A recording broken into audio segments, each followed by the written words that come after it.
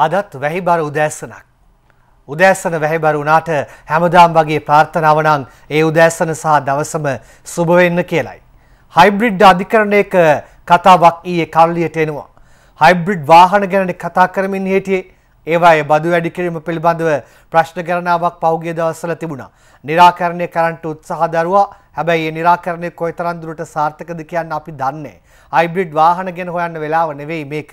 මේක හයිබ්‍රිඩ් අධිකරණය මොකක්ද කියලා හඳුන්වා දෙන්නට වෙලාවයි. හයිබ්‍රිඩ් අධිකරණයක්. දැන් වාහන වලින් අපි අලුත් වචනයක් දෙමුහුන් කියන වචනය භාවිතයට ගත්තා. දැන් ජිනීවා වලින් ඒ දෙමුහුන් වචනේ අධිකරණයේ පැත්තට ඇවිල්ලා තියෙනවා. මෙන්න අද ප්‍රධාන ශිෂ්පාටය. හයිබ්‍රිඩ් අධිකරණයක් සටහන චානක චන්ද්‍රසේකර. දෙදස් දෙක දෙදස් එකොළහා යුද සමයේදී සිදු වූ යුද සහ මානව වර්ගයාට එරෙහි අපරාධ ගැන සොයන්න. එක්සත් ජාතීන්ගේ මානවහිමිකම් කොමිසම නිර්දේශ කරයි. වාර්තාව සම්පූර්ණයෙන්ම ප්‍රතික්ෂේප නොකර වෙනසක් ඇතිකිරීමට අවස්ථාවක් ලෙස දකින්න. එක්සත් ජාතීන්ගේ මහකොමසාරිස් කියයි.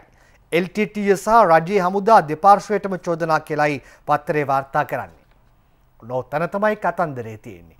LTTය සහ රජයේ හමුදා දෙපාර්ශ්වයටම චෝදනා.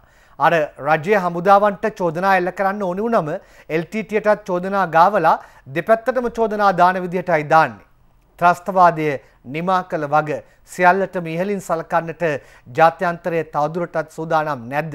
ප්‍රශ්නාර්ථයක් මතුවෙලා තියෙනවා මේ කතන්දර කීපයත් එක්ක නැවතත් ශ්‍රී ලංකා රජයේ හමුදාවන්ට මෙලෙස චෝදනාවන් එල්ලවීමත් එක්කම. මේ හයිබ්‍රිඩ් කතන්දරෙන්මයි දිවයිනත් අද ප්‍රධාන ශිෂ්පාටය තෝරාගෙන තියෙන්නේ. යුද අපරාධ විභාගයට හයිබ්‍රිඩ් උසාවියක් පිහිටුවන්න. කීර්ති වර්ණකුල සූරිය සමගින් අජිත් තලහ කොණ්ඩ යන්නේ. මානව හිමිකම් කොමසාරිස් නිර්දේශ කරයි.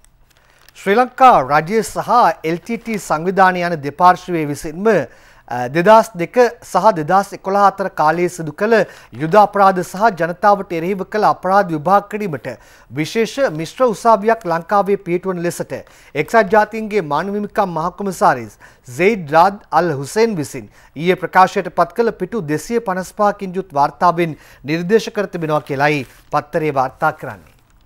මිශ්‍ර උසාවි කතාව මේක තරම්ම සුබදායිදයක් නොවේ නේද. දැන් අපි එතකොට බලමු මේ පිළිබඳව තවත් සටහනක් රිවිර පත්තරෙන්. ජිනීවා යෝජනාව රජය වහා ප්‍රතික්ෂේප කළ යුතුයි. ආචාර දෑන් ජාතිලක කියන්නේ ලියන්නේ දීපා වසන්ති. බරපතල යුදාපරාධ චෝදනා නගමින් ජාත්‍යන්තර විනිසුරුවරුන්ගෙන් යුත් අධිකරණයක් මෙරට පිහිටුවීමේ ජිනීවා යෝජනාව රටේ ප්‍රජාතන්ත්‍රවාදය බරපතල ලෙස උල්ලංඝනය කරන්නක් නිසා. රජය වහාම එම යෝජනාව ප්‍රතික්ෂේප කළ යුතු බව එක්සත් ජාතින්ගේ සංවිධානයේ හිටපු ශ්‍රී ලංකා නිත්‍ය නියෝජිත ආචාර්ය දෑන් ජයතිලක මහතා රිවිර පත්තරයට සඳහන් කළා කියලයි වාර්තා කරන්නේ. පොඩ්ඩක් ඒ පිළිබඳ විමසමු. බරපතල යුද්ධාපරාධ චෝදනා නගමින් ජාත්‍යන්තර විනිසුරුවරුන්ගෙන් යුත් අධිකරණයක් මෙරට පිහිටුවීමේ ජිනීවා යෝජනාව රටේ ප්‍රජාතන්ත්‍රවාදය බරපතල ලෙස උල්ලංඝනය කරන්නක් කියලයි සඳහන් කරන්නේ. ඒ නිසා රජය වහාම මෙම යෝජනාව ප්‍රතික්ෂේප කළ යුතු බවයි ආචාර්ය දයන් ජයතිලකයන් සඳහන් කරලා තියෙන්නේ. දැන් මේ දේශීය යාන්ත්‍රණයක් කියන කතාව මුලින් දාලා තිබුණා ජාත්‍යන්තරය. දැන් මේ මිශ්‍ර අධිකරණයක කතාවක් එළියට දාන්න සූදානම් වෙනවා. අර යුද අපරාධ පිළිබඳ කතා කළා ත්‍රස්තවාදය නිමා කරාට තියෙන අකමැත්ත එළියට එන යලි යලිත් එළියට එන අවස්ථාවක් බවට මේ පත් වෙලා තිබෙනවාද? ඊයේ තමයි මේක එළියට ආවේ. නිසා අපි පිළිබඳව සරහට අවධානය යොමු කරමින් එමු. ලේසි නැති තැනකට ආවද කියලා ප්‍රශ්නය දැන් මතුවෙනවා. හිතුවේ ලේසි තැනකට එයි කියලාද දැන් ලේසි තැනකට නොවේදාවේ මේ ප්‍රශ්නය මතුවෙලා තිබෙනවා. දැන් රජය මේක වහා ප්‍රතික්ෂේප කරන්න ඕනි කියලා ආචාර දෑන් ජයතිලකයන් කියනවා. එතකොට රජය අවධාරණය කරන කතාවක් දිනමින පත්තරේ වාර්තා කරනවා. මානව හිමිකම් කවුන්සලයේ වාර්තාව අපරාධ ගැන පරීක්ෂණයක් නොවේ. මහින්ද අලුත් ගෙදර ලියන්නේ. සංහිඳියා පිළිවෙත ඉදිරියටම ගෙන යනවා. රජය අවධාරණය කරන්නේ. ශ්‍රී ලංකාව සම්බන්ධයෙන් ජගත් මානව හිමිකම් කවුන්සිලය වෙත ඉදිරිපත් කළ වාර්තාව මානව හිමිකම් සම්බන්ධයෙන් වන පරීක්ෂණයක් මිස අපරාධ සම්බන්ධයෙන් සිදු කළ පරීක්ෂණයක් නොවන බව රාජ්‍ය අවධාරණය කරනවා.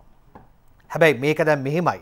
මේ මේ මේක මානවහිමිකම් සම්බන්ධයෙන් වන පරීක්ෂණයක්ද අපරාධ පරීක්ෂණයක්ද කියන කාරණාව නොවේ. මොන විදියකින් හරි මේක රටට අහිතකර තැනකට එනවද? ඔනෝකයි විශේෂයෙන් බලන්න තියෙන්නේ. මානව හිමිකම් සම්බන්ධයෙන් වන පරීක්ෂණයක් මුවාවෙන් අපරාධ පරීක්ෂණ වලට එන්න පුළුවන්කම තිබෙනවා. ජාත්‍යන්තරයේ ස්වරූපය හැසිරීම එක් එක් විදියයි. ප්‍රශ්නාර්ථයක් තාම තියෙන්නේ. එනිසා මේ පිළිබඳව තාම දැඩි ලෙස සුළුකට නොතකා බැලිය යුතුයයි කියා මම හිතන්නේ රටේ සමස්ත ජනතාවගෙන් බෞද්ධරේ විශ්වාස කරනවා ඇති. ඒ කතාවෙන් පස්සේ මේ ඉන්දියාවේ කතාවක් තියෙනවා. දිනමින පත්තරේ තියෙන. ඉන්දියාවේදී විරෝධතාවයට 70ක් අත්අඩංගුවට වාර්තාව මහින්ද අලුත් ගෙදරගෙන. ශ්‍රී ලංකාවේ සිදූ බව කියන යුදාපරාධ චෝදනා පිළිබඳ විමර්ශනය සඳහා ජාත්‍යන්තර පරීක්ෂණයක් වෙනුවට දේශීය පරීක්ෂණයක් සඳහා සහාය ලබා දෙන බවට ඇමරිකා එක්සත් ජනපදයේ දරණ ස්ථාවරයට එරෙහිව විරෝධතාවයේ නිරත වූ 70 දෙනෙකු ඉන්දියාවේදී අත්අඩංගුවට ගෙන තිබෙනවා කියලා පත්තරේ වාර්තා කරනවා. ඉන්දියාවේ ඇතමුන්ගේ ශ්‍රී ලංකා විරෝධයේ මේ කතා කරන්නේ අග්‍රාමාත්‍යරයාගේ ඉන්දිය සංචාරයේ සමේ එයයි විශේෂත්වය බවට පත්වන්නේ.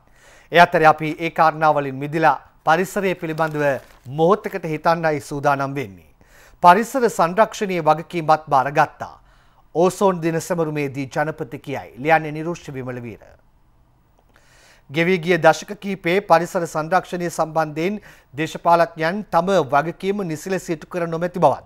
එයින් තමා පරිසර සංරක්ෂණ ඇමති ධූරය ලබාගත් බවත් ජනාධිපති මෛත්‍රීපාල සිරිසේන මහතා ප්‍රකාශ කරනවා. පරිසරය විල්පත්තු අවට වන සංහාරය ඒ පිළිබඳව හිරු සීඅයියේ කරපු අනාවරණය වරක දෙවරක නොවෙයි දිගින් දිගටම බලධාරීන්ගේ ඇස් ඇරණතුරු කරපු අනාවරණය ඒ පිළිබඳව දැක් වූ අවධානය දැන් ටිකක් අඩු වෙලා තිබෙනවාද? එතන ප්‍රශ්නාර්ථයක් ඉදිරි කරමු. එතකොට ජනාධිපතිතුමා කියනවා ගෙවී ගිය දශක කිහිපයේදීම පරිසර සංරක්ෂණය සම්බන්ධයෙන් දේශපාලඥයන් තම වගකීම නිසි ලෙස ඉටු කර නැහැයි කියලා. ඒ නිසා පරිසර සංරක්ෂණයේ වගකීමත් බාරගත්තයි කියලා ජනාධිපතිතුමා කරන ප්‍රකාශය බලලා මෙමු. අද පිරිවරුවේ ඕසෝන් දින සෙමරු මුත්සවය මොරටුව ජර්මන් පුහුණු අභ්‍යාස ආයතනයේදී පැවැත්වුණේ ජනාධිපති මෛත්‍රීපාල සිරිසේන මහතාගේ ප්‍රධානත්වයෙන්. ගෙවීගිය දශක කීපය තුළ ඇල්ල දොළ ගංගා වැවුරු රක්ෂිත ප්‍රදේශ වෙරල සංරක්ෂණ ප්‍රදේශ ව්‍යාපාරිකින් සහ දේශපාලන බලපුළුවන්කාරකන් තුළ මොනතරම් විනාශ කරනවාද. වැලි කර්මාන්තය පස් කර්මාන්තය මැනික් කර්මාන්තය මොනතරම් රටේ ස්වාභාවික සම්පත් විනාශ කරනවාද මේ අමාත්‍යංශයේ වැඩබාරගෙන පළවෙනි සතියේ ගත්ත පළවෙනි තීන්දුව තමයි පොළොන්නරුව දිස්ත්‍රික්කයේ වැලිගොඩ දැමීම මන් සම්පූර්ණයෙන්ම තහනම් කරන එක. එය අදත් තහනම් කරලා තිබෙන්නේ. හිටපු බස්නාහිර මහමැති ප්‍රසන්න රණතුංග මහත්මයා මට කිව්වා පහුගිය දවසක හම්බෙච්ච වෙලාවේ මේ පස්කුඩ දැමීමේ ව්‍යාපාරය නිසා ගම්පහ දිස්ත්‍රික්කයේ ජාවාරංකාරෝ පාතාලයින් මේ ව්‍යාපාරයේ ඉන්න ජීවිත 42ක් අහිමි වෙලා තියෙනවා කියලා. මම පෙරේදා තීන්දුවක් අරගෙන බුවිද්‍යා පතල් කාර්යාංශයට නියෝග කළා ගම්පහ දිස්ත්‍රික්කයේ පස් කැපීම සම්පූර්ණයෙන්ම බලපත්‍ර අවලං කරලා තහනම් කළා. මේ අතර වකුගඩු රෝග නිවාරණ ජනාධිපති කාර්යසාධක බලකායේ නිල වෙබ් අඩවිය අද පස්වරුවේ ජනාධිපති කාර්යාලයේදී විවෘත කෙරුණේද ජනාධිපතිවරයා අතින්. වකුගඩු රෝග නිවාරණ කාර්යසාධක බලකායේ සන්නාම තානාපතිවරුන් ලෙස පත් කළ මුත්තයා මුරලිදරන් සහ තිලකරත්න ඩිල්ෂාන් මහත්වරුන්ට ඊට අදාළ ලිපි පිරිනැමුණේද ජනාධිපතිවරයා අතින්. මෙහිදී පරිත්‍යාගශීලීන් කිහිප දෙනෙකු විසින් වකුගඩු රෝග නිවාරණ අරමුදල සඳහා මූල්‍ය සහ උපකරණ පරිත්‍යාගයන්ද සිදු කිරීම විශේෂත්වයක්. ඊළඟට උදෑසනම කියන්න කතාවක් තියෙනවා. මලසිරුරක් පෞද්ගලික රෝහලකින් මුදාහරින්න නෑලු. ඔබ දන්නවද දවස් හතක් තියාගෙන දලා තියෙනවා මල සිරුරක්. හත් දවසේ බණ සහ දානමය පින්කම්වලටවත් ඉඩක් නැතිවෙන පාටක්ද පේන්න තියෙන්නේ. මේ බලන්න මේ කතාව. රෝගයාගේ මලසිරුර බිලගෙවන තුරු දින හතක් රෝහලේ රඳවාගෙන නිමන්ති රණසිංහ ලියන්නේ. කොළඹ පීටිය පුද්ගලික රෝහලක නේවාසිකව ප්‍රතිකාර ලබමින් සිටියේදී ශල්‍ය කර්මයකින් පසු මියගිය පුද්ගලයෙකුගේ මෘත ශරීරය රෝහලේ බිල නොගෙවීම මත ඥාතීන් වෙත මුදා නොහැර රෝහලේ දින හතක් රඳවා තබා ගැනීමේ සිද්ධියක් සම්බන්ධයෙන් නාරායන්පිට පොලිසිය ඊයේ අධිකරණයට කරුණු වාර්තා කරලා තියෙනවා. නාරායන්පිට පොලිසියටයි එතකොට අයත් වෙලා තියෙන්නේ. කොළඹ පිහිටි පුද්ගලික රෝහලක්. නේවාසිකව ප්‍රතිකාර ලබමින් සිටියේදී ශල්‍ය කර්මයකින් පස්සේ මිය ගිහිලා තියෙන්නේ. බිල ගිව්වේ නැහැ කියලා දවස් 7ක් රෝහලේ රඳවාගෙන තිබෙනවා. භූම දාන හෝ ආදාහන කටයුතු කරන්න නෙවෙයි. ඊට අමතරව හත් දවසේ පින්කම් කරන්නවත් ඉඩක් නැති වෙන පාටක් පේන්න තියෙන්නේ. මලසිරු රෝහලේ අධිකරණයට කරුණු දන්වලා තියෙනවා. ඒ අතරේදී ඔබ දන්නවද බිල කොච්චරද කියලා. බිල ලක්ෂ විස්සට ඔන්න මෙන්න. දහ නම ලක්ෂ ගානක් තියෙනවා මේ හෘදයාබාධයක් සමගින් තමයි ඇතුල් කරලා තියෙන්නේ. ලක්ෂ විස්සට ඔන්න මෙන්න බිලක්. මලසිරුර දින හතක් රෝහලේ. අධිවේගී මාර්ගයේ කඩුවෙල කඩවත කොටස අද විවෘත කරයි. නාලක සංජීව සමගින් සුජිත් කෝනාරයි ලියන්නේ. කොළඹ පිටත වටරවුම් අධිවේගී මාර්ගයේ කඩුවෙල කඩවත කොටස සහ අතුරුගිරිය පෝඩේ නව අන්තර් හුවමාරු මධ්‍යස්ථානය අද සවස තුනට විවෘත කිරීමට නියමිතයි කියලා මෙන්න පත්තරේ වාර්තා කරනවා. අද රෑ නමේ ඉඳන්ම මං හිතන්නේ මොනවද සැප බස් ධාවනය කරනවා කියලා පත්තරයක වාර්තාවක් තිබුණා ඒකත් මට ඔබට මේ මොහොතේම කියා සිටින්නට වුණා. ඔව් අද රෑ 9න් පසු අධිවේගයේ ගමන් පුළුවන් කියලාත් පත්තරේ වාර්තා කරලා තියෙනවා. ඊළඟ කතාව. විපක්ෂයට යන මන්ත්‍රීන්ට දිස්ත්‍රික් සම්බන්ධීකරණ කමිටු සභාපතිකම් නෑ. ජනපති දන්වන්නේ රුචිර දිලාන් ලියන්නේ. ජාතික ආණ්ඩුවට සහාය නොදී විපක්ෂයේ අසුන් ගන්නා ශ්‍රී ලංකා නිදහස් පක්ෂයේ කිසිදු පාර්ලිමේන්තු මන්ත්‍රීවරයෙකුට සම්බන්ධීකරණ කමිටු සභාපති තනතුරු ලබා දිය නොහැකි බව ජනාධිපති මෛත්‍රීපාල සිරිසේන මහතා පවසා තිබෙනවා. කිසිම කෙනෙක්ට විපක්ෂයට යන දිස්ත්‍රික් සම්බන්ධීකරණ කමිටු සභාපතිකම් දෙන්නේ නැහැඩු. මං හිතන්නේ විපක්ෂයේ දැන් අසුන් ගන්නට 40ට අඩු කණ්ඩායමක් ශ්‍රී ලංකා නිදහස් පක්ෂයෙන් ඉතුරුලා තියෙන්නේ. ඒ අය සූදානම් වෙලා ඉන්නවා කියලා කියන්නේ කිසිදු වගකීමක් හෝ කිසිදු වරප්‍රසාදයක් බාර නොගෙන විපක්ෂයේ ඉන්න. ඒ නිසා ඔවුන් මේ ගැටලුවක් කරගනීද නොගනීද කියන කාරණාව වෙනම දෙයක්. ඊට අමතරව දැන් හිටපු මහාමතු වෙනුවට නව මහාමතුවරයෙක් බස්නාහිරට පත් කළා. ඒ වැඩබාර ගන්න දවසේ හිටපු මහාමතුවරයාත් වෙනවා තවත් පිරිවරකුත් එතනට ඇවිත් ඉන්නවා. බලන්න මේ ඡායාරූප වාර්තාව. බස්නාහිර පළාත් සභාවේ නව ප්‍රධාන අමාත්‍ය ඉසුර දේවප්‍රිය මහතා කොළඹ ශ්‍රාවශ්‍රී මන්දිරයේ පිහිටි බස්නාහිර පළාත් ප්‍රධාන අමාත්‍ය කාර්යාලයේදී ඊයේ වැඩ ආරම්භ කළා. හිටපු ප්‍රධාන අමාත්‍යරයා එතනට පැමිණ සුබ පැතුම් එක්කර සුහද කතාබහක් නිරත වූ ආකාරයයි චතුරේස් කොඩිකාරගේ ඡායාරූපෙන් ඔබට බලන්න පුළුවන්කම තියෙන්නේ.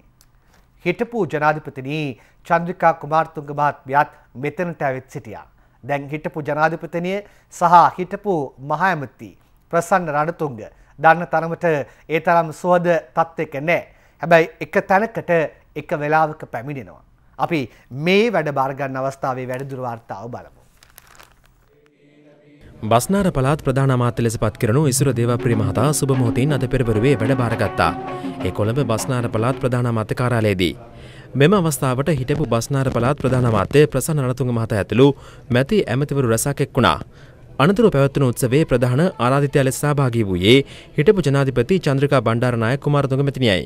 කරන්න දේවල් බොහෝ තියෙනවා. පාසල් ටික, රෝහල් ටික බස්නාහිර පළාතේ. හදපු දේවල් කඩාගෙන වැටලා තියෙනවා. මේ පළාත් සභාව ගෙනියන්න බෑ දේශපාලඥයන්ට විතරක්. මෙහෙවන නිලධාරීවරුන්ගේ කරුණාකරලා පහුගිය කාලේ කරපු කෙරුවනම් වැරදි, අනුගමනය කෙරුවනම් වැරදි ක්‍රමවේද ඒවා සියල්ල අතාරින්න. නව රජය ටෙන්ඩර් පිළිබඳ විශේෂ වැඩපිළිවෙලක් ආරම්භ කරමින් පවතිනවා. ප්‍රාදේශ සභා නගර සභාවල පැවතුන අතිශය දූෂණය නැවැත්විය යුතුයි. ක්‍රම සහ විදි හැදිය යුතුයි. අද පවතින්නේ ජාතික ආණ්ඩුවක්. තමුන්නාසලාගෙන් ඉල්ලා සිටිනවා පළාත් සභාවේ තීන්දුව ගැනීමේදී සියලු පාර්ශවයන්ගේ අදහස් එකතු කරගන්නට අධීක්ෂණය කරන්නට සියලුම පක්ෂ වලින් සමන්විත කමිටු හදාගෙන ඒවට බලතල දීලා කටයුතු කරන්න. සමහර විට ඇමතිවරු කැමති වෙන්නේ නැති වෙන්න පුළුවන්. මගේ වැඩවලට ඇඟිලි ගහනවා කියලා. හැබැයි තමුන්නාසලා උතර ඉන්නේ ජනතාව වෙනුවෙන්. තමාට ඕනේ ඕනේ විදිහට කරලා නෑදෑ මිත්‍රයෝ ටික ඔක්කොම පුරෝගන අමාත්‍යාංශවලට කටයුතු කරන්න බෑ. දැන් අපි කෙටි විරාමයකට යන්නයි සූදානම් වෙන්නේ. කෙටි විරාමයකට ගිහින් ඇවිත් නැවත ශීර්ෂ පාඨ පිළිබඳ අවධානය යොමු කරමු.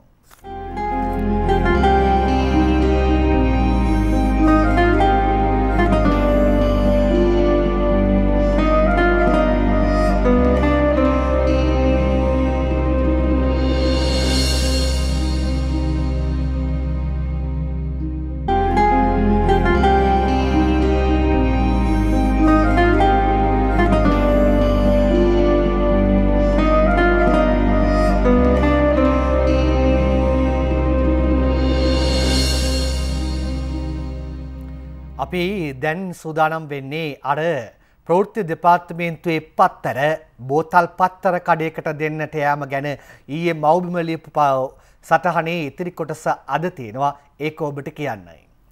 ප්‍රවෘත්ති දෙපාර්තමේන්තුවේ පුවත්පත් බෝතල් පත්තර කඩයට විකිනීම.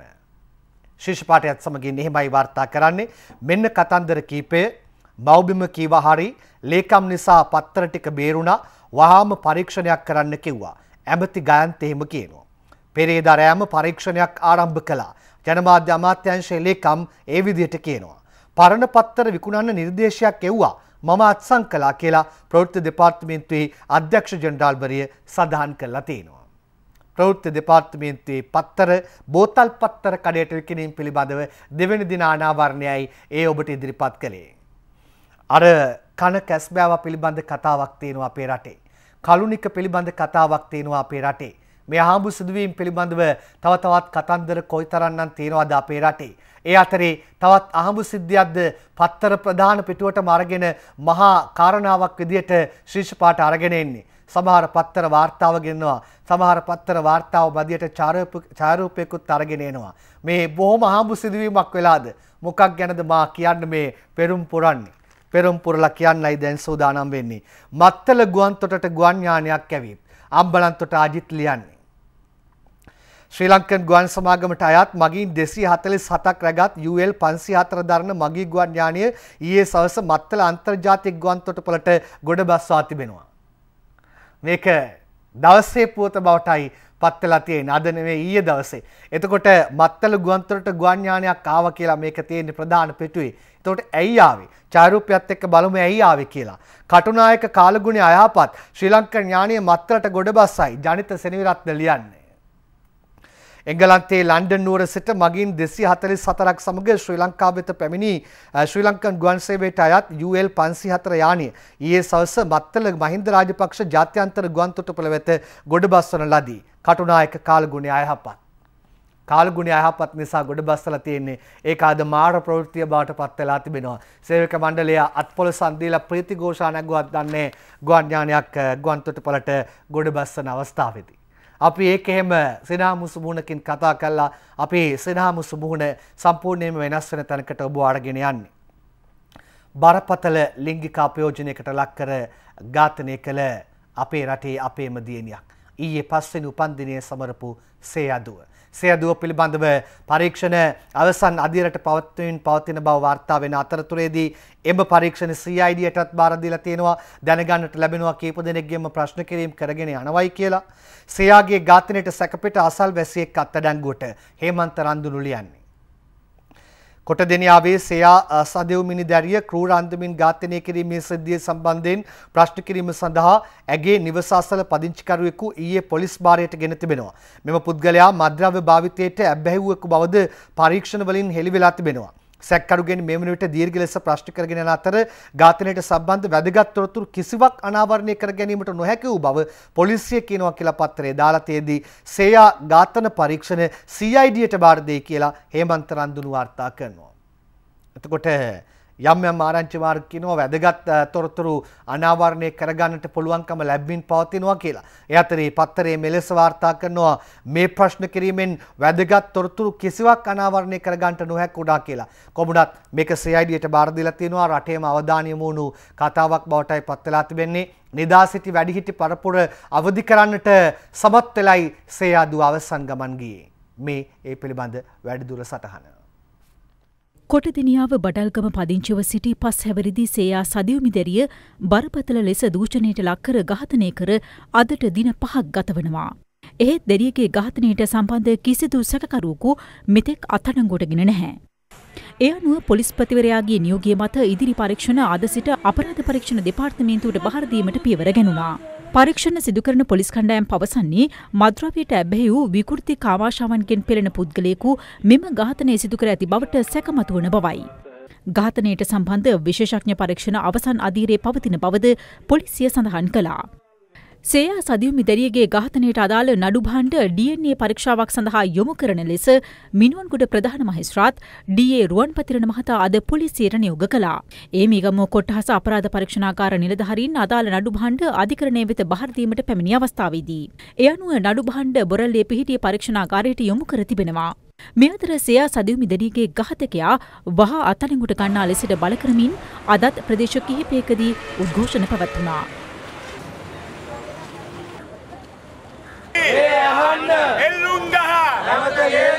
මල් කැකුළු මිලින කරන මේ අදම ඉන්න මේ රටෙන් තුරන් කරන්නට කියලා අපි අතිගරු ජනාධිපතිතුමාගෙනොත් ගරු අග්‍රාමාත්‍යතුමාගෙනොත් මේ මොහොතේදී ඉල්ලා සිටිනවා. මේ පොඩි දරුවන්ට කරන අපරාධ මෙතනින් ඉවත් වෙන්න ඕන.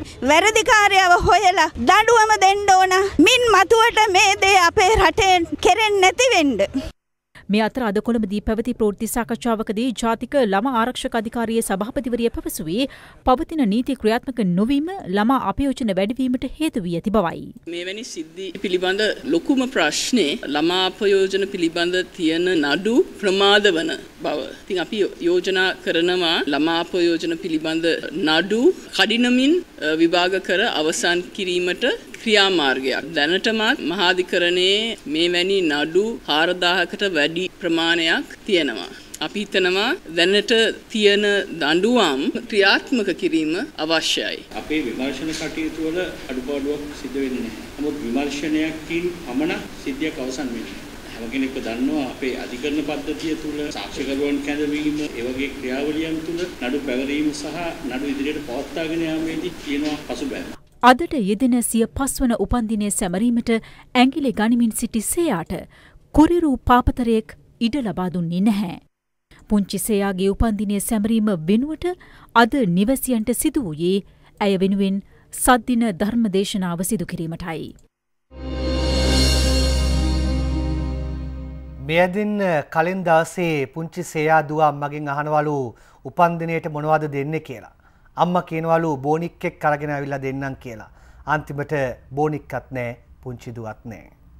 අපි මෙතනම තවත් සටහන් දෙකක් පෙළගස්සන්න බලාපොරොත්තු වෙනවා ස්ත්‍රී දූෂණ වර්ධකරුවන්ට IRC ලේබලේ පොලිස් මාධ්‍ය ප්‍රකාශක කියන්නේ ලියන්නේ නදීෂානි පතිරණ.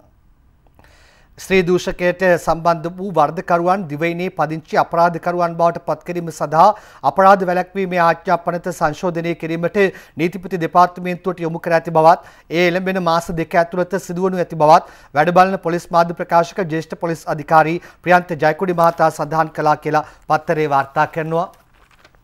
ස්ත්‍රී දූෂණය වර්ධකරුවන්ට IRC ලේබලය.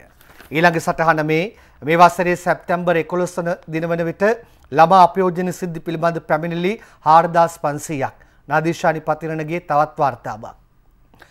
මේ වසරේ සැප්තැම්බර් 11 වෙනිදා දක්වා වන කාලය තුලදී ජාතික ළමාරක්ෂක අධිකාරියට ළමා අපයෝජන සිද්ධි පිළිබඳ පැමිණිලි 4500ක් ලැබී ඇති බව ජාතික ළමාරක්ෂක අධිකාරියේ සභාපතිනි නීතිඥ නතාෂා බාලේන්ද්‍ර පැවසුවා කියලා පත්තරේ වාර්තා කරනවා.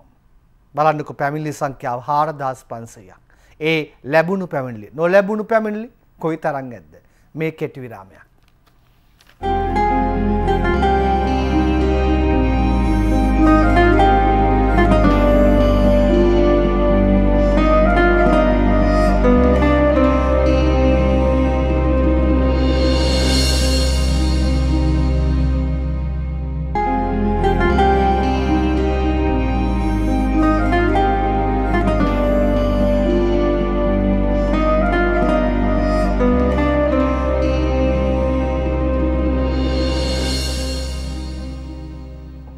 රාජ්‍ය මාධ්‍යායතනයක ප්‍රචාරණ කටයුත්තකදී සිදුවී ඇතැයි කියන දූෂණ ආක්‍රමිකතාවක් පිළිබඳව හිටපු රජයේ තිදිනෙක්ගෙන් ප්‍රශ්න කිරීම ඊයේ දවසේදීත් සිදු වුණා.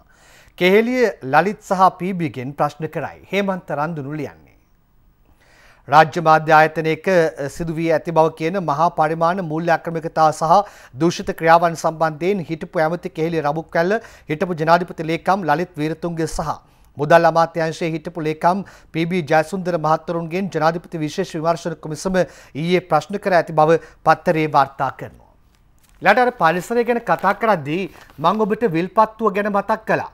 විල්පත්තුව අවට වන සංහාරය බලාගෙන ඉන්න දුකේතන තරම් වන සංහාරයක් උඩුගුවනෙන් ගන්න චාරව පොලදී අනේ මේ අපේ කැලේට වෙලා තියෙන දේ කියලා හිතන තරමටම දැන් ඒ පිළිබඳ අවධානය කෝ එහෙම ප්‍රශ්න හිතන අවස්ථාවක මෙහෙම සටහනක් අද පත්තරේ තියෙනවා. විල්පත්තු වන විනාශය ගැන රජයේ ස්ථාවරය අධිකරණය විමසයි. ලක්මාල් සූරිය ගොඩ ලියන්නේ. මෙන්න ඉහලින් ගත්ත චාරූපයකුත් ඔබට බලන්න පුළුවන්. කෝ එදා තිබුණු කොළපාට කැලේ. විල්පත්තු ජාතික වනෝද්‍යානයේ අධි ආරක්ෂිතයට අයත් ප්‍රදේශයේ අක්කර දහස් කරනක භූමි ප්‍රදේශවල සිදුවී ඇතැයි කියන නීති විරෝධී හෙළිපෙහෙළි කිරීම සහ සිදු කර ඇති නැවත පදිංචි කිරීම සම්බන්ධයෙන් රජයේ ස්ථාවරය දන්වන ලෙසට ඊ අභ්‍යාචන අධිකරණයේ නීතිපතිවරයාට නියම කර තිබෙනවා. අභ්‍යාචනාධිකරණයයි නීතිපතිවරයාට නියම කරන්න. ඔන්න දැන් බලාගන්න පුළුවන් අභ්‍යාචනාධිකරණයට දන්නනකොට මේ සම්බන්ධ හරි හමන් රජයේ ස්ථාවරය කුමක්ද කියලා. බෙදවසල හරි හරියට වැස්ස. හිටි හැටියේ කඩාගෙන වැටෙන්නේ මහා වැස්ස.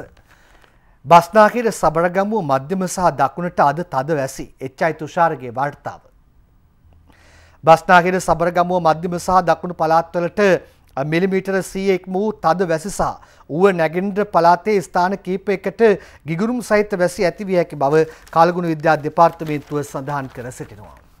වැසි සහිත තත්ත්වයක් තියෙන්නේ ඊයේ අර බෞද්ධාලෝක මාවතේ ටෙස්ටන් ක්‍රීඩාංගණය අසල ගසක අත්තක් කඩා වැටිලා වාහන දෙකට බරපතල හානි සිදු වුණා. මේ දවස්වල හරි පරිස්සම් වෙන්න ඕනේ. කොයි තැනක තියෙන අතු කඩාගෙන වැටෙයිද කියන්න බෑ. ඒ වගේම ස්වභාවික ආපදා මොන වෙලාවෙ වෙයිද කියන්න බෑ. මොකද කාලගුණ තත්ත්වය අයහපත්. ඔබ වෙනුවෙන් ඒ මතක් කිරීම කරන්න. දැන් ඊළඟට දේශපාලන කාරණාවක්. ඔබ දන්නවා සන්දානයේ ඇතැම් පාර්ශව වෙනම සන්ධානගත වෙන්නට උත්සාහයක් දන්නවා. එතන පිවිතුරු හෙළවුරුමේ ජාතික නිදහස් පෙරමුණ ඉන්නවා කියලා ආරංචි පැතිරගෙන යනවා. ඒ අතරේ ශ්‍රී ලංකා නිදහස් පක්ෂයේ විරුද්ධ පක්ෂයට ඉන්න අයත් මේ වගේ දේවල් ගැන සාකච්ඡා කරනවා කියලා පෞගේ දවස්වල කතා කළා. ඒ අතරේ වාසු සහෝදරයා ඉන්නේ කොතනද? වාසු සහෝදරයාගේ අදහස මෙන්න. සන්ධානයේ පක්ෂ වෙන්වී පක්ෂයක් හදනවාට වාසු විරුද්ධයි. වාර්තාව චාමර සම්පත්ගෙන්. එක්සත් ජනතා නිදහස් සන්ධානයට අයත් පක්ෂ වෙන්වී නවපක්ෂයක් ගොඩනැගීමට කල්පනා කරන්නේ නම් ඒ තාම වැරදි ක්‍රියාවක් බව ප්‍රජාතන්ත්‍රවාදී වාමාංශික පෙරමුණේ ලේකම් පාර්ලිමේන්තු මන්ත්‍රී වාසුදේව නානායක්කාර මහතා සඳහන් කරනවා. එහෙමනම් වාසු සහෝදරයා කියන්නේ මොකද්ද? කියන්නේ මොකද්ද කියලා මෙන්න අහන්න.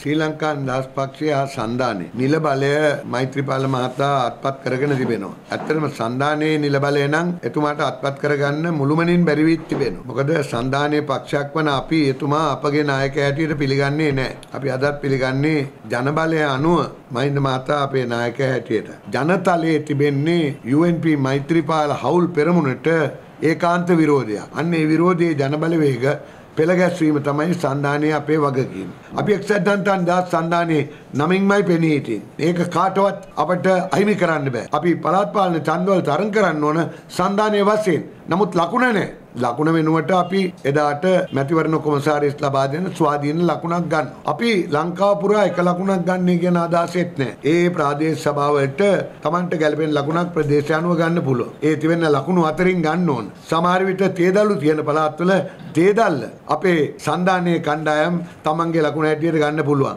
සන්ධානයේ බලවේග දැන් වෙනම ඊළඟ පළාසභාව මැතිවරණයට යන්න යනවා නම් ඒ එතන මෛත්‍රී මහත්තයව එතන විදිහට පිළිගන්නේ නැතිකොට ඒගොල්ලන්ව අයින් කිරීමක් කළොත් සන්ධානයෙන් අපිව අයින් කරන්නේ ලකුණ ගත්තොත් විතරයිනේ සන්ධානයේ නාමය ඕන කෙනෙකුට පාවිච්චි කරන්න පුළුවන්. එතුමාට බෑ අපිට නඩු දාන්න මෙයා සන්ධානයේ නම් පාවිච්චි කරනවායි කිය. අපි මේක හොඳට අත්අදා බලලා තියෙන කට්ටිය ලංකා සමාජවාද පක්ෂයෙන් කැඩියෙන වෙලාව. ඉතින් අපිට ලොකුම ගැටලුවක් ආවොත් එක්සත් ජනතා නිදහස් සන්ධානයේ එක්සත් කෑල්ල කපලා අපි යනවා. ජනතා නිදහස් සන්ධානය. ගැටලුවක් ආවොත් එක්සත් කියන කෑල්ල කපලා ජනතා සන්ධානයේ විදියට යනවලු. එතකොට ඊට පස්සේ ගැටලුවක් ආවොත් ජනතා කියන කෑල්ල කපලා අන්තිමට සන්ධානය කියලා විතරක් ඉතුරු වෙයි දන්නේ නැහැ. කොමුණත් තැන් තැන්වල ලකුණු වෙනස් වෙන්නත් ඉඩ තියෙනවා කියලායි වාසසහෝදරයා නම් කියන්නේ. අගමැති රනිල් ඉන්දීය ජනපති සමග. චාරු වාර්තාව ලංකාදීප පත්තරේ ඔබ දකින්නේ. ඉන්දියාවේ දෙදින නිල සංචාරක එදුණු අග්‍රාමාත්‍ය රනිල් වික්‍රමසිංහ මහතා ඉන්දිය ජනාධිපති ප්‍රණාම් මුඛර්ජී මහතා ඊයේ පෙරවරුවේ හමු වුණා. ඉන්දිය ජනාධිපති නිල නිවස වන රාෂ්ට්‍රපති භවන්හිදී මෙම හමුව සිදු වූ අතර එහිදී ඉන්දිය ජනාධිපතිවරයා විසින් ශ්‍රී ලංකා අග්‍රාමාත්‍යවරයා පිළිගනු ලැබූ අවස්ථාව මෙහි දැක්වෙන්නේ. මහාචාර්ය මෛත්‍රී වික්‍රමසිංහ මහත්මියද චාරුපේ සිටිනවා. ඒ වගේම මතක් කිරීමක් කරන්න ඕනි. ඊයේ එම නිල සංචාරය නිමා වුණා. අනගාරික ධර්මපාල එකසිය පනස් එක්වෙනි ජන්ම සැමරුමාද. ශ්‍රීමත් අනගාරික ධර්මපාලතුමන්ගේ එකසිය පනස් එක්වෙනි ජන්මදිනය ආදටයේදී තිබෙනවා කියලයි පත්තරේ මතක් කල්ල දෙන්නේ. අපි දැන් ඒ සමගින් ප්‍රධාන පිටුවල ශීෂ්පාට අවසන් කරලා ඇතුල් පිටු වාර්තා කීපයක් ඔබට ගෙනෙන්නටයි සූදානම් වන්. ඇතුල් පිටු වාර්තා අතරේදී අර ඊයේ කතාවක් තිබුණා රාගමදී එජාපයම මන්ත්‍රවරුන්ගේ දෙන්නෙක්ගේ දෙපිරිසක් අතර තිබුණු ගැටුමක් ඒ තවත් කාරණාවක් ලංකාදී පැතුල්පිට වාර්තාව මෙහෙම ලියනවා. රාගම පොලිසියට කඩා පැන්නැයි පැමිණිල්ලක් එජාප මන්ත්‍රී චතුරසෙන රත්න ඔක්තෝබර් විස්ස උසාවි කැඳවයි. සටහන ඉන්දිකා රාමනායක සහ රාගම දේවප්‍රිය රාගම ගුවන් පාලමස්සල පිටි රාගම රෝහලේ රථගාලේ දෙපිරිසක් අතර ඉකුද්දා රාත්‍රියේ හටගත් ගැටුමක් හේතුවෙන් අත්අඩංගුවට ගෙන රාගම පොලිස් සිරමැදිරියේ රඳවා සිටි තරුණයන් පස් දෙනෙකුට පොලිස් සිරමැදිරිය අසලට පැමිණ මරණීය තර්ජනය කිරීම සහ රාත්‍රී කාර්යභාරයේ සිටි පොලිස් නිලධාරීන්ට තර්ජනය කළ බව කියන සිද්ධියක් සම්බන්ධයෙන් එක්සත් ජාතික පක්ෂ ගම්පා දිස්ත්‍රික් පාර්ලිමේන්තු මන්ත්‍රී චතුරසෙන රත්න මහතාට ලබන ඔක්තෝබර් 20 වෙනිදා මිගමු මහේස්ත්‍රාත් අධිකරණ හමුවේ පෙනී සිටින ලෙසට ප්‍රධාන මහේස්ත්‍රාත් පූර්ණිමා පරණගමගේ මහත්මිය පෙරදා නියෝග කළා කියලා ඔන්න පත්තරේ වාර්තා කරනවා. එතකොට පෞගිය මහමැතිවරණ සමයේ ඔට්ටු ඇල්ලීම් කොයිතරම් සිදුවන්නට ඇද්ද? ඡන්ද කාලෙට රත්නපුරේ ඔට්ටු කියලා පත්තරයක ඇතුල් පිටු වාර්තාවක් තිබිලා මම කියුවා මටම මතකයි. ඔබටත් සමහරලාට මතක ඇති. එතකොට ඒ අතරෙදී අපි නොදන්න ඔට්ටු අල්ලලා දිනපු අය අපි නොදන්න විදිහට ඔට්ටු අල්ලලා ඒ ඔට්ටු ගන්න බැරි වෙච්ච අය කොයිතරම් ඉන්නවද? ඔට්ටු කියන්නේ මේ කටවචනේ නෙන දෙයක්. එතකොට ඒක යන්න පුළුවන් ද නීතිය හමුවට? මෙන්න කතාවක්. රුපියල් ලක්ෂයක ඡන්ද ඔට්ටුවක් අල්ලා මුදල් දීම පැහැර හැරලා පොලිසියට පැමිණිල්ලක්. මෙන්න ගිහිල්ලා පොලිසියට වාර්තා කරන්නේ සිරි සුනන්ද පැමිණිල්ල කළ සුමනදාස මහතා ලිපි දෙකක් සහිතවයි ওই චාරූපේ ඉන්නේ. පසුගිය මහා මැතිවරණයෙන් රනිල් වික්‍රමසිංහ මහතා අගමැති වන බවට මෝල්කාව ප්‍රදේශයේ ව්‍යාපාරිකයෙකු සමග රුපියල් ලක්ෂයක මුදලක් ඔට්ටු ඇල්ලූ තමන්ට ඔහු අදාළ මුදල් ලබා නොදුන් බව පවසා බුලත් සිංහල වෙරදි සංගමේ හිටපු සභාපති සුමනදාස මහතා බුලත් සිංහල පොලිසියට පැමිණිල්ලක් කර තිබෙනවා කියලයි පත්තරේ වාර්තා කරන්නේ. පොඩ්ඩක් දැන් මේක අමුතු කතාවක් නිසා මම පොඩ්ඩක් තව ටිකක් එහාට කියවන්නද. දැන් මෝල්කාව ප්‍රදේශයේ ව්‍යාපාරිකයෙකු වන මෙම පුද්ගලයා තමන්ගේ ව්‍යාපාරික ස්ථානයට පැමිණ හිටපු ජනාධිපති මහින්ද රාජපක්ෂ මහතා අගමැති වන බවට පවසමින් රුපියල් ලක්ෂ 10ක ඔට්ටුවක් තමන් සමග අල්ලන්නේයි ඇවිටිලි කළ බවද අනතුරුව ලක්ෂයක ඔට්ටුවක් ඇල්ලූ බවද තමන් පැවසුවේ රනිල් වික්‍රමසිංහ මහතා අගමැති වන බව නිසා ඡන්දයෙන් පසු මුදල ලබා ගැනීමට ගිය අවස්ථාවේ ඔහු ලක්ෂයක මුදල ලබා නොදුන් බවත් පැමිණිල්ලේ සඳහන් කරලා තියෙනවා. ලක්ෂ 10ක් මුලින්ම කියලා තියෙන්නේ. ඒක තමයි ලක්ෂයට බහැලා තියෙන්නේ. විදෙස් වාර්තා දිවයින විදෙස් පිටුවෙන් දූෂණ ක්‍රියාවලට වරදකර වූ ඕමාන තෙල් සමාගමේ ප්‍රධානයාට වසර විසි තුනක සිර දඩුවමක්. ඉන්දියාවේ ටජ්මහල් මන්දිරයේ නැරඹීමේ ගාස්තුව සියයට දෙසියකින් වැඩිවේ. නව ලේබ පක්ෂ නායකයා යුද විරුවන් සැමරීමේ උත්සවයේදී ජාතික ගීය ගැයීමෙන් වලකි. බොනියෝ දූපතේ පිහිටි අපායේ සත්වෝද්‍යානය. සිම්බාබ්වේ පාර්ලිමේන්තු විවෘත කිරීමේ අවස්ථාවේ ජනාධිපති මුගාබේ පරණ කතාවක් කියවයි. ක්‍රීඩා වාර්තාවකට යන්න හදන්නේ. අමාත්‍ය අර්ජුන රණතුංග මහතා. ශ්‍රී ලංකා ක්‍රිකට් ආයතනයට දැඩි හිතවත්කමක් දැක්වුවා. ඒ කියන්නේ ශ්‍රී ලංකා ක්‍රිකට් ආයතනයේ හිටපු පරිපාලනයට නෙමෙයි එම ක්‍රිකට් ආයතනයේ පරිපාලනයට පැමිණෙන්නටයි දැඩි කැමැත්තක් දැක්වුවේ. අවස්ථා කීපයකදී එය මගහැරී යනවා. එක අවස්ථාවක කෙටි කාලයකට පත් වෙලා නැවත මගහැරෙනවා. යලි තමන්ගේ ආණ්ඩුවක් තියෙද්දි එන්න හිත නැවත ඇවිල්ලා. ක්‍රිකට් සභාපති ධූරය සඳහා අර්ජුන සූදානමින් ඉදිරියේ පැවැත්වීමට නියමිත ක්‍රිකට් නිලවරණයේදී ක්‍රිකට් සභාපති ධූරය සඳහා ඉදිරිපත් වීමට සාකච්ඡා කරමින් සිටින බව හිටපු ක්‍රිකට් නායක මෙන්ම වඩාය සහ නාවික අමාත්‍ය අර්ජුන රන්තුංග මහතා සඳහන් කරනවා. නැවත ක්‍රිකට් පරිපාලනයට එන්නයි ඔවුන්ට හිත දීලා තියෙන්නේ. කාටුන් පෙළ බලාපොරොත්තු වන්න මේ විරාමයෙන් අනතුරුව.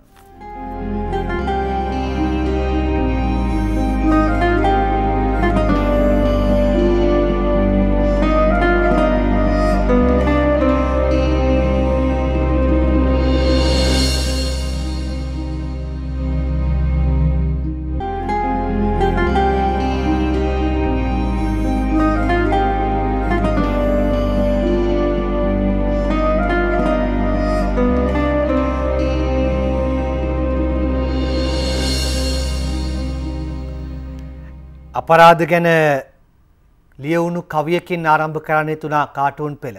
අද කාටුන් ගණනාවක්ම තියෙන ආරම්භයට තෝරා ගන්නවා ලංකාදීපයේ තිලකගේ තුන්මන්සල කවිය. නිතරම විවුරු වීගෙන සැරිසරන වනේ තිරිසන් සතුන් තරමටවත් නැතිව ගුණේ අසරණ කුඩා දරු දැරියන් මරණු පෙනේ අයෝ දැහැමි දිවයිනකට මොකද වුනේ එහෙම ප්‍රශ්නාර්ථය අපරාධකරුවන් හොයන්න යන්නේ කොහොමද? මෙන්න බලන්න යන හැටි. අද පත්තරේ අවන්තාටිකලගේ කාටුනේ. හොඳට තේරුම් ගන්න බාන්න අන්න මිනිමරුව යනවා ඉස්සරහින්. මරපු ආයුධයක් අතේ තියාගෙන යන්නේ ලේ පැල්ලන් తీරෝ පිටිපස්සෙන්. මේ තොණ්ඩුවත් අරගෙන යාව අල්ලන්න යන්නේ එයාගේම අඩිසල්කුණු ඔස්සේ. මේ ගියොත් කවදාවත් මිනිමරු අල්ලයිද?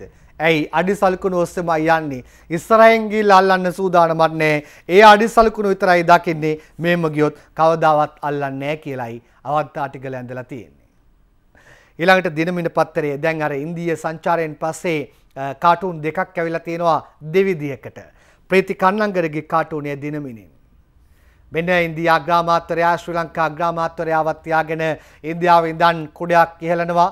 ඒකෙන් රැකවරණය ඉන්දියාවට විතරක් නෙවෙයි ශ්‍රී ලංකාවටත් ලැබෙනවා රැකවරණය ආවරණය කියලයි ප්‍රීති කන්නංගරගේ කාටුනෙන් ඇඳලා තියෙන්නේ. හැබැයි ඒ අභියෝගයට ලක් කරනවා රිවිර අසංගිදුනිල්ගේ තිරස් කාටුනය. කවුරුත් නෑ රාජ්‍ය නායකයෝ හැබැයි ආශ්‍රයෙක් මේ කවුද ආශ්‍රයා මේ ට්‍රෝජන් ආශ්‍රයාද බලන්න. මේ ට්‍රෝජන් ආශ්‍රයා ඉගිල්ලිලා එනවා ඉන්දියාවින්දන් ශ්‍රී ලංකාව පැත්තට ශ්‍රී ලංකාවේ ජනතාව ටිකක් තක්බීර වෙලා බලාගෙන ඉන්නවා. ඊළඟට ජාත්‍යන්තර පරීක්ෂණ හමුවේ මොකද වුණේ මේ උදේ විමලසිරිගේ කාටුනේ දිවයින පත්තරින්. මෙන්න බලන්න ජාත්‍යන්තර පරීක්ෂණය අර බලන්න එහා පැත්තෙන් අතක් දිස්සනවා. අත ඔස්සේ ඉස්සරහට එන්න නූලක් තියෙනවා. දේශීය පරීක්ෂණය කියන උගුලටයි කොටු කරන්න හදන්න කෑම ටිකක් දාලා කුල්ලක් තියලා තියෙනවා. මෙතැන්ට කාවද අරගෙන එන්න හදන්නේ. වෙඩ කාවත් නෙමෙයි ලංකාව කියන දේ අරගෙන එන්න හදන්නේ. ලංකාව කුකුලෙක්ට අන්දවලා කෑම කන්න එතනට ආවම උගුලාට වන්නටයි සූදානම් වන්නේ. එහෙම තැනකට ජිනීවා ගිහින්ද. ලංකාදීපේ තලන්ගේ ඒතුමා මෙන්න. පත්තරේ තියෙනවා ප්‍රවෘත්තියක්. ලෝක බිහිරි දිනය විසිවෙනිදා. ඒක දැකලා සිරා කියනවා එතුමාට ස බීරුවන්ගේ සම්මේලනයට සර්ලත් ගිහිල්ලා එයාලගේ දුක් ගැනවිලි වලට කන් දුන්නොත් නේද හොඳ කියලා. ඒක එච්චර හයියෙන් කියලත් එතුමානෝ ඈ මට ඇහුන්නේ බං කියලා. බලාගෙන කියාම දේශපාලනයයි බීරි වෙලා තියෙන්නේ. මේ ලංකාදීපේ නිමල් ජයශාන්තගේ කාටුනේ. බලන්න මේ ආරාමය මොකක්ද කියලා. මේ යහපාලන ආරාමය. යහපාලන ආරාමේ ජනාධිපතිතුමා සහ අගමැතිතුමා එක තැනක ඉඳන් භාවනාව කරනවා. නිශ්ශබ්ද වෙන්න මෛත්‍රී භාවනාව කියලා ඇතුළේ බෝඩ් එකක් ගහලා තියෙනවා. එතනට ගිය දේශපාලඥයෝ රැසක්ම එම භාවනාවේ නිරත වෙලා සමහරුන්ගේ පිටිපස්සේ එතනෝල් සමහරුන්ගේ ළඟ කුඩු සමහරුන්ගේ ළඟ සල්ලි සමහරුන්ගේ මූණු නරියට ඇඳලා ඒ අය නවගුණ වැලත් දාගෙනයි ඉන්නේ. යහපාලනාරාමේ මෛත්‍රී භාවනාවයි නිමල් ජයශාන්ත ඇඳලා තියෙන්නේ. ලංකාදීපේ තලං පංකජරුවින්දගේ සරදම් කාටෝනිය මෙන්න. කැමති මන්ත්‍රීන්ට විපක්ෂය වාඩිවීමට බාධාවක් නෑ කියලා ජනාධිපතිතුමා කියනවා. දේශපාලකතුමා එහෙම කියද්දි සරදම් කියනවා. ඒ කියන්නේ දෙන දේ කාලා වෙන දේ බලා ඉන්න විතරයි තියෙන්නේ කියලාද. ඔවුන්ට තියෙන්නේ එච්චරද. දෙන දේ කාලා වෙන දේ බලාගෙන ඉන්නද. ලංකාදීපේ දාස අපවාලානගේ ස්වාරිස්. මෙන්න ඩිව්ගුණසේකර ඇවිල්ලා කියනවා මහින්ද ආණ්ඩුවට වැරදුණු තැන් මම පෙන්නවා කියලා. හැබැයි මහින්දගේ කඩේ යන මල්ලයි අතේ තියාගෙන ඉන්නේ. සුවාරිස් තමන්ගේ මල්ල දාලා දුවන ගමන් හැරිලා ආනවා. එතකොට සර්ට වැරදුණු තැන් දැක්කේ නැද්ද කියලා. ඩිව් ගුණසේකර ඒවා දැක්කේ නැද්ද? බස්නාහිර පළාතේ හිටපු ඇමති උපාලි කොඩිකාරට මොකද උනේ? මෙන්න දාසගේ කාටුනේ ලංකාදීපෙන්. මහින්ද රාජපක්ෂ මහතා වැටලා ඉන්නවා පැදුරට උපාලි කොඩිකාරවත් ඒ පැදුරටම ඔසවලා විසික් කරලා තියෙන පාටක් තමයි පේන්න තියෙන්නේ දැන් ඔහුට විසි වෙනවා තරු. ලංකාදීපේ තිස් හේවා විස්සගේ හිනාව ඇස්ස මෙන්න. වත්මන් ජනාධිපති සහ හිටපු ජනාධිපති. වත්මන් ජනාධිපතිතුමා කියනවා විපක්ෂ වාඩි වෙන්න පුළුවන්. විපක්ෂ නායකකම ඉල්ලන්න බෑ කියලා. එතනට ඇවිල්ලා මහින්ද රාජපක්ෂ මහතා hina වෙලා හිතනවා මාතෘකාව දීලා තහනම් වචන දෙන්න තරඟ වගේ කියලා. ඊළඟට අපි යන්නේ කවියකට.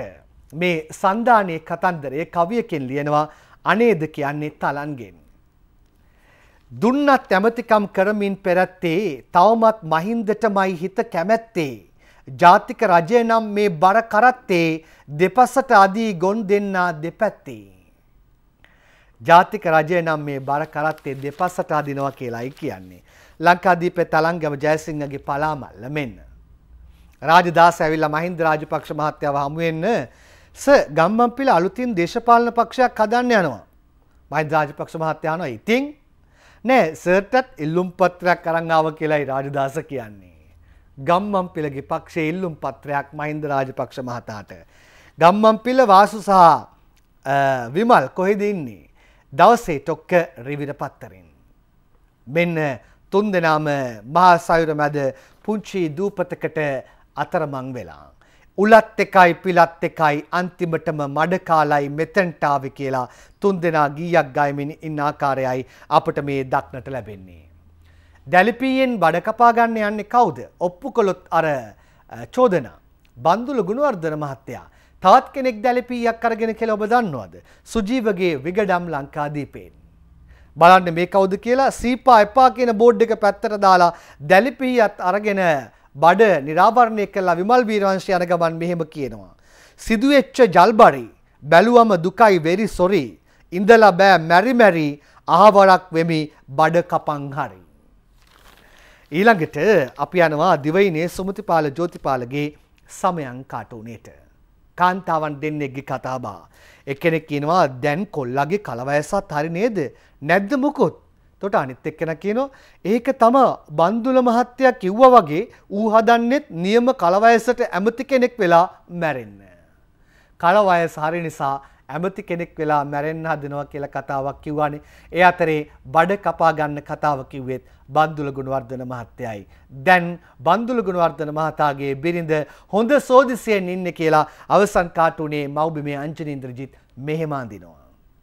මෙන්න වොෂ්රූම් එකට යන්න හදනවා තුවායත් ඇඳගෙන බඩත් ඉස්සරහට දාගෙන බන්දුල ගුණවර්ධන මහතා. හැබැයි යන්න හදන්නේ දැලිපිහියත් අරගෙන බිරිඳ හොඳටම කලබල වෙලා යන්න නොදී මේ පැත්තට අදිනවා. එතකොට කලබලයක් නැතුව බන්දුල ගුණවර්ධන මහත්තයා කියනවා නෑ නෑ ඩාලින් රැවුල කපා ගන්න යන්නේ කියලා. දැලිපිය අරන් වොෂ්රූම් යන්නේ බඩ කපා ගන්න නෙවෙයිලු. හමුවෙමු අපි මේක පුදුම ලෝකයක් සමගින්.